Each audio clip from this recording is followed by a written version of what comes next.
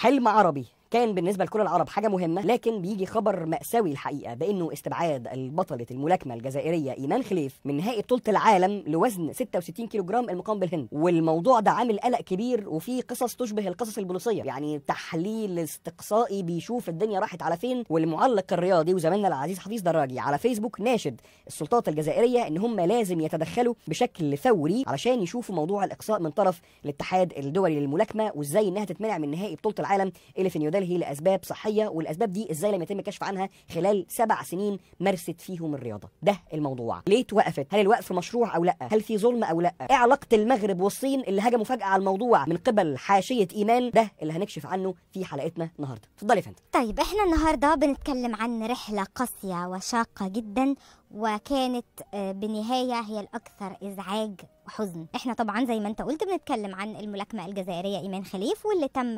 إقصائها من المباراة النهائية ليلة المباراة. وكان من المفترض إن هي هتواجه الصينية يانج لي في نهائي بطولة العالم للسيدات وزن 66 كيلو والمقامه في نيودلهي. ليه يا اخوانا قرر الاتحاد الدولي للملاكمة استبعاد إيمان بسبب ارتفاع هرمون الذكورة بشكل مفرط في جسمها وده وفقا للتحليل اللي اتعمل قبل المباراة. وده إجراء طبيعي بيتعمل في كل المباريات تمام. طيب هي مين إيمان خليف. إيمان خليف هي آه، بطلة ملاكمة زي ما قلت لك هي عاشت حياتها كلها بتتعرض للتنمر وهي قالت إن هي كانت بتتخطى كل ده وموافقة عليه ولقت نفسها جدا وفقا لمكوناتها دي في لعبة الملاكمة. مم. طيب إيمان وصلت لبطولة الاتحاد الدولي للملاكمة للسيدات في 2018 في نيودلهي. كانت في المرتبة ال 17 بطولة العالم للملاكمة النسائية 2019 اللي كانت في روسيا. بطولة العالم للملاكمه, النسائية 2022 وكانت أول ملاكمة جزائرية بتصل للنهائي بعد فوزها على الهولندية شيلسي هايجن. إيه اللي حصل بقى؟ في البطولة دي لعبت خمس مباريات كسبتهم كلهم. أول واحدة بسبب عدم التكافؤ مع المنافسة الكينية. وبعد كده ملاكمة روسية كسبتها نتيجة 4-1 بعد كده هزمت الأوزبكية 5-0 وراحت ربع النهائي وأزاحت المنافسة التايلاندية بنتيجة 5-0 وكان المنتظر إنها تواجه الصينية في دور النهائي. طب هنا كان في أسئلة كتير. طب يا إخوانا أنتوا دلوقتي بتروحوا تعملوا الإجراء ده. اولا بيروحوا يعملوا تحاليل بف... بشكل مفاجئ سواء بما لها علاقة بالمنشطات أو الهرمونات أو أي حاجة. وبيروحوا ياخدوا عينات مفاجأة. بس الست دي بتلعب من 2017 وفي بطولات دولية زي ما قلت لك دلوقتي أهي وخدت مراتب ومراكز. هو الهرمون ده بيظهر فجأة.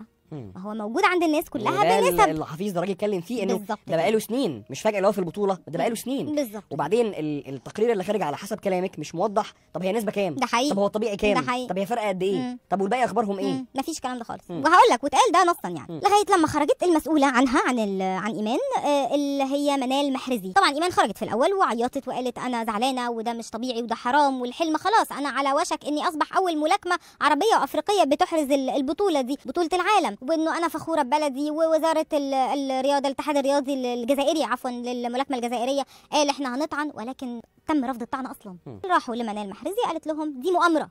طب إيه المؤامرة؟ دي مؤامرة من الصين والمغرب. اشمعنى؟ طب الصين وإحنا فاهمين؟ النهائي صيني. النهائي صيني. خلاص الصين خدتها وألف مبروك. مم. ليه المغرب؟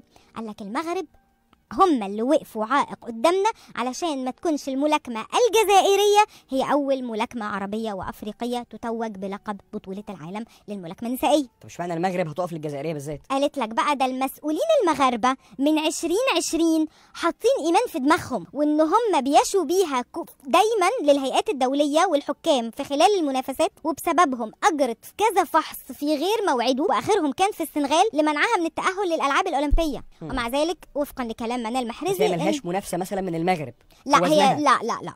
آه. بس هو فكرة إن اللقب ب... وفقا لمنال هو في محرزي بطلة مغربية في وزن تاني. آه ده حقيقي. كسبت. ده حقيقي في وزن 86 كيلو. أوكي. آه ولكن آه هم مش عايزينها هي تبقى اللي هي تحصل بطولة. العالم للكرة النسائية للملاكمة النسائية في. هذا في هذا الوزن هرجع وأقول تاني من 2017 وكل التحاليل دي ولا مرة فكرتوا تستبعدوها بسبب إن عندها ما الهرمون ما هي البنت من وهي صغيرة بتقول أنا بتعرض للتنمر عشان أنا المشكلة دي موجودة عندي لغاية لما بيه وبالمناسبة إحنا لو بنتكلم لو بنتكلم على و- مع كامل الاحترام في. ناس يعني أبطال كتير جدا جدا جدا مم. من البنات مم. التكوين العضلي بتاعهم قوي ده حقيقي. بوضوح يعني لا عايزة أقول حاجة كمان. إنه هي عدت زي ما أنا لسه قايلة لك كذا مرحلة في. البطولة دي. وكسبت كذا مباراة في صح. البطولة دي البطولة نفسها اللي استبعدت من النهائي للسبب ده عايزه أقول لك على حاجة يعني سبحان الله يعني مش عارفة أقول والله لطيفة ولا حزينة استضافوا ال ال الملاكمة الروسية اللي هي كانت غلبتها في واحدة من الجولات يعني قالت لهم طب أنا يعني طب أنا أنا خسرت. يا ريتني كنت أنا اللي في النهائي كنت أنا كسبت. أنا زعلانة إنه أنا يعني اكتشفتوا ده دلوقتي أو إن أنتوا بتقولوا ده دلوقتي بس هنعمل إيه؟ هنعمل إيه؟ ما أنتوا عديتوا كل ده. ليه جايين النهارده نعمل ده؟ الناقد الرياضي الجزائري حسين جناد قال هو ده هرمون جديد ده اكتشفناه في الدنيا لا جديد. طبعا. طيب هل هي لسه أول مرة بتعملوا تحليل؟ لا طبعا. طيب فين؟ زي بقى ما أنت لسه قايل دلوقتي. هو قال ده نصا.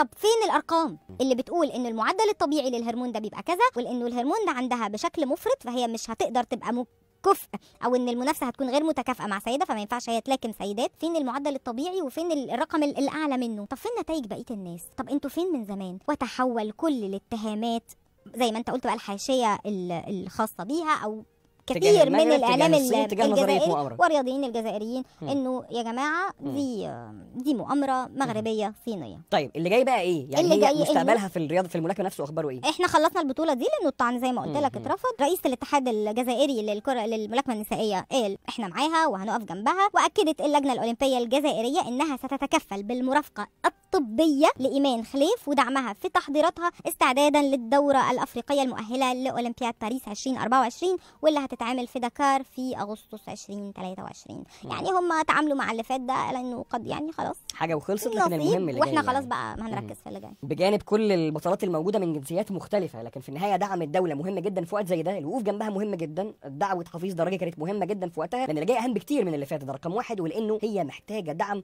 أكتر من أي حد. يعني اللي عايش حياة ومسيره في الرياضة بالشكل ده يا سارة محتاج دعم أكتر من أي بني آدم علشان يقدر يرجع من تاني لمكمن القوة اللي عنده. واللي يوصل للنهائي عن جدارة واستحقاق ويستبعد لا ويستبعد ليلتها. دي شيء مفجع.